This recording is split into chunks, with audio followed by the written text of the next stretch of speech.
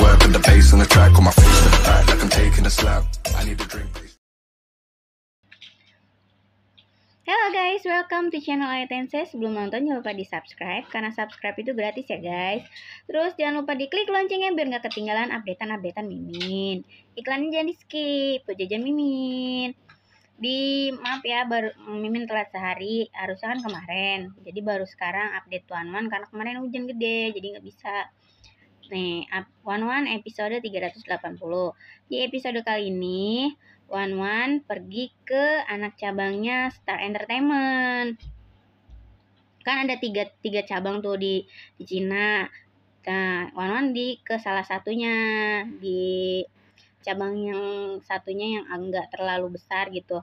Nah, di sana Wan Wan ketemu sama superstar namanya Fu Xingmi. Fu Xingmi ini ternyata adalah an cucunya penatua kedua. Nah, dia dulu uh, kan mohon dulu ceritanya lagi mabuk tuh gara-gara si apa namanya? Jisurannya kan Kaisar Jinya lagi be masalah lah. Tadinya kan emang deket deket banget. Cuman karena Kaisar Ji lagi sakit terus dia nggak mau Wawan tahu jadi dia pura-pura deket sama cewek. Nah Wan Wan itu kan jadi sakit hati nih terus dia mabuk-mabukan tuh. Terus pas lagi ngobrol itu nah si penatua kedua eh, si penatua kedua kan masih tahu kalau dia punya cucu. Pas dilihat kata Wanwan cakep dia udah mau nggak dijodohin gitu katanya mau jadi tunangannya ah Wanwan bilangnya mau lah dia mau sama yang cakep yang mau nah Cuman kan Wanan karena emang belum ingat, jadi dia belum tahu nanti di episode keberapa gitu nanti di, dikasih tahu. Nah, nih si Pusing ini kan nggak tahu. Terus ada asistennya, dia itu kenal sama ya Ziwon ya. Terus dia kasih apa namanya? Ngasih, kamu bukannya Yebay bukannya kamu dulu menggelapkan dana? Katanya gitu. Menggelapkan dana. Apa dananya udah habis? Jadinya kamu ke sini untuk mencari sesuatu. Emang kan kamu kira Star Entertainment itu bisa dimasukin sama industri lain katanya gitu. Terus tiba-tiba ada Tuan Zhao Tuan Zhao yang apa namanya kepala kepala cabangnya di situ. Terus dia bilang kamu siapa? Terus kak pas penatua ke satu bilang ini emang nah Tuan Zo kan tahu jangan-jangan dia terus dia minta tolong sama eh penjaganya suruh usir itu asistensi pusing mi. Diusir diusir karena uh, dia telah lancang gitu Nah, kata si Fungsingmi, e, emang siapa dia? Katanya, kamu nggak bakalan bisa, um, apa namanya, berbuat masalah sama dia kalau kamu, kamu masih pengen hidup, gitu. Terus, emang siapa? Kata si Fungsingmi. Hmm, gimana kelanjutannya? Selamat menonton ya, guys. Abaikan apa yang Mimin lakukan. Kasih. Mimin mau masker dulu, guys. Seven Star, kita bersaudara. Aku akan memberimu 200 yuan ketika aku kembali. 2 juta. Si Do Bidu kan ngutang sama Seven Star 2 juta. Aku tahu aku akan kembalikan dan meminta kakak Pen untuk membayarnya. Bocah ini uang yang dia utangkan dia benar-benar memintaku untuk membayarnya. Berhenti bercanda, bermain-main. Ayo kita berurusan dengan bisnis. Siapa yang kamu cari? kata penjaga.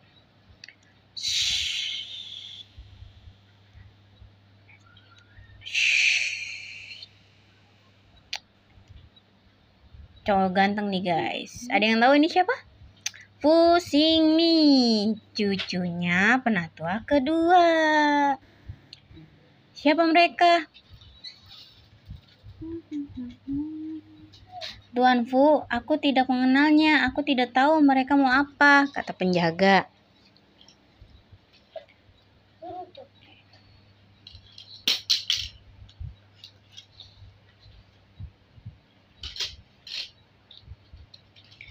Pria itu seperti pusing, Mi. Aku tahu, aku tahu cukup banyak.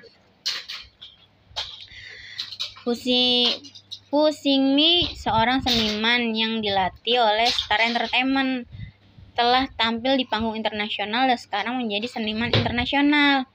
Tentu saja setiap kali ada hiburan baru, Fumingsi, Fusiming atau Fumingsi gitu ya. Pasti akan ada di setiap iklannya gitu. Permisi, kami punya janji dengan Tuan Zhao. Bolehkah aku menyusahkanmu? Ya, bukankah ini Yebai dari Egg of Immortal? Siapa kamu?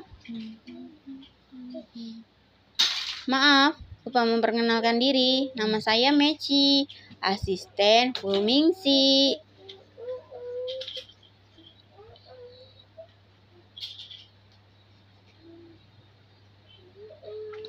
Untuk apa orang-orang ini di sini? Kata si asisten nih sama penjaga. Mereka ingin bertemu dengan Tuan Zhou. Nah, bertemu Tuan Zhou. Apa Yebai, Yebai mendapatkan orang-orang ini dan kemudian ingin berusaha dan mengulangnya? Aku dengar dia Ziwan bilang kamu menggelapkan uang perusahaan. Apa uangnya udah habis? Tidak semua industri hiburan bisa memasuki Star Entertainment, kata si asistennya Fumingsi nih ya guys. Tidak heran dia memusuhiku, jadi dia punya hubungan dekat dengan Yao Ziwan. Usir mereka, kata asistennya. Hmm, kata penjaganya.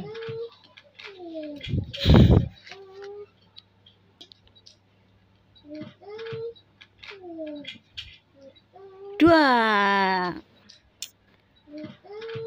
ditonjok nih guys kaget kan tuh asisten apa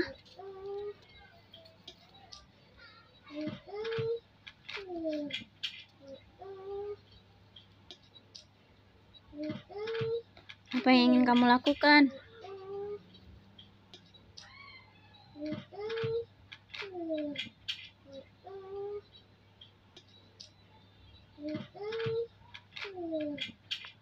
Dibanting nih guys Tuanku, selamatkan aku. Kata si asisten nih. Si Pumingsi mah cuman bengong liatin. Siapa kamu berani menyebabkan masalah di Star Entertainment? Kata ketua cabang ini. Apakah kamu CEO Zo? Kamu siapa? Katanya si kepala cabang. Tuan Zhao, penatua kedua, belum memberitahumu kami akan datang. Hah? Tuan Zhao-nya kaget nih, guys. Mereka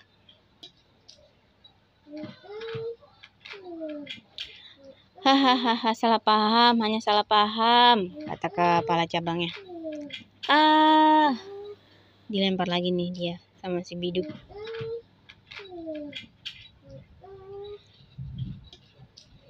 Apa kamu buta? Siapa pun yang berani menyebabkan masalah, kamu dipecat. Kamu pergi dari pergi sekarang, katanya kepala cabang nih, guys. Apa yang telah terjadi? Mengapa dia memecat saya secara mendadak? Apa katamu? Feroz Aliens. Tuan muda Fu, jangan pernah menyinggung wanita itu, kata kepala cabang.